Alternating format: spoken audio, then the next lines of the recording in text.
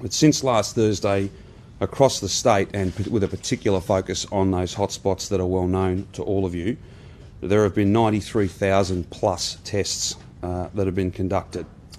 37,000 doors have been knocked on, uh, particularly in those hotspot suburbs. Uh, there have been some 233 new cases of coronavirus since last Thursday, since that testing blitz began. That is an unacceptably high number and one that poses a real threat to all of us.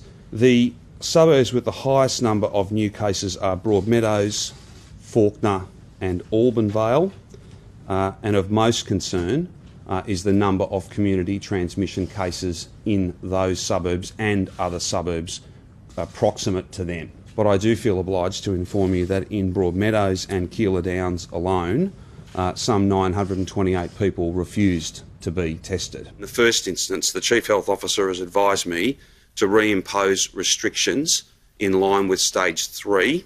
So they will be stay at home orders, except for four reasons to leave your home. Uh, these orders will be effective from 11:59 p.m. tomorrow night, and they will run for four weeks until the 29th of July. There will only be four reasons that you are permitted to leave your house, and only if you really have to for work or school, for care or caregiving, for daily exercise, for food and other essentials. They are the acceptable reasons to leave, but only if you need to. 3012, 3021, 3032, 3038, 3042, 3046, 3047, 3055, 3060 and 3064. That means each and every home within those postcodes from 11.59pm tomorrow night will have to stay in their homes uh, except for those four reasons. On enforcement, Victoria Police will be actively, actively enforcing these suburban lockdowns, this stay at home order.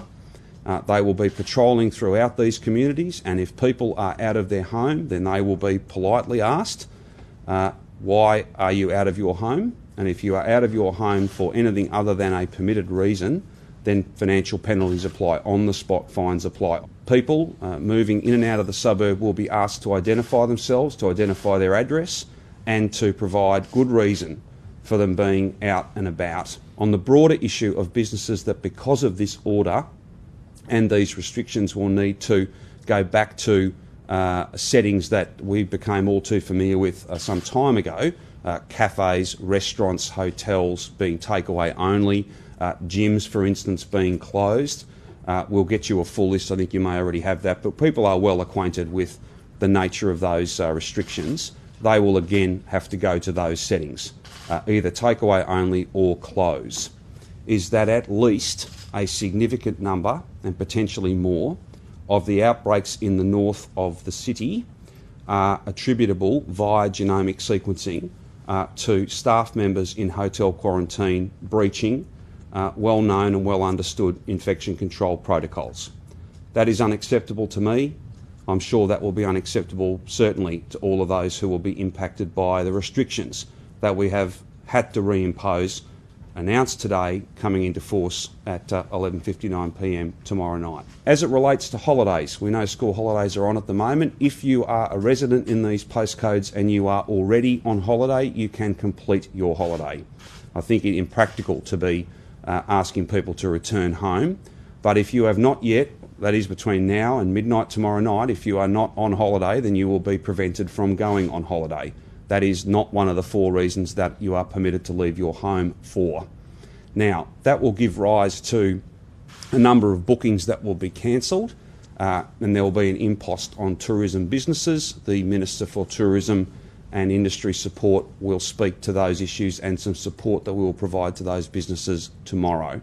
I know the diversions are only in relation to those who would have gone into hotel quarantine. Essentially, we're saying we won't take any further hotel quarantine uh, um, persons for the period of two weeks, uh, and that's a function of both the announcements I've made today following that genomic testing